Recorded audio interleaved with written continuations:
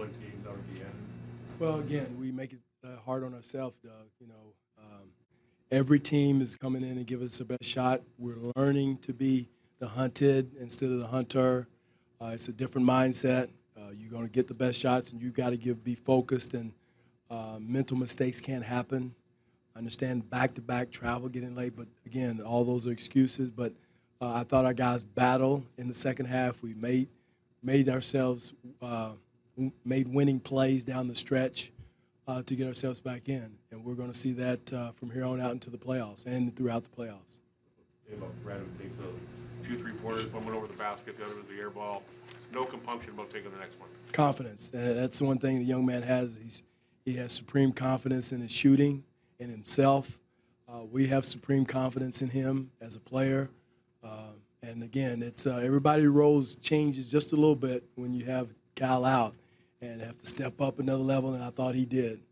Can you talk about the decision to rest Kyle and how Delon handle it?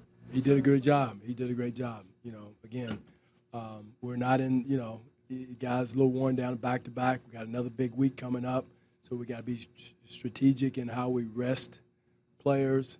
Um, got a little nicks and bumps and bruises, and so trying to keep everybody fresh.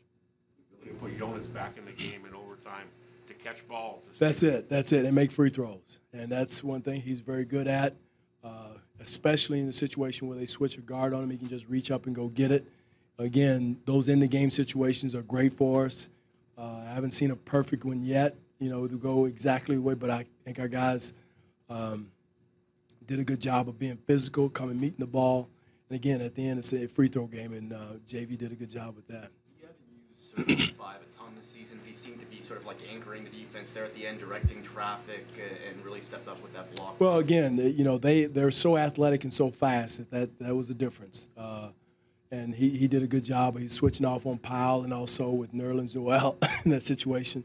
So again, just thought the mobility, the speed and quickness of him, um, his shooting. I thought we needed offense a little bit to space the floor a little bit to get uh, Noel out of the paint, and I thought he did a good job with it.